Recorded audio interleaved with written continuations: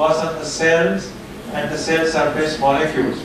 Today, we are now targeting the microenvironment. All of you know that uh, in uh, some of the tumor like osteogenic sarcoma, it goes to the lungs, goes to the bones. It doesn't go to the liver. Very rarely it goes to the brain. Why so?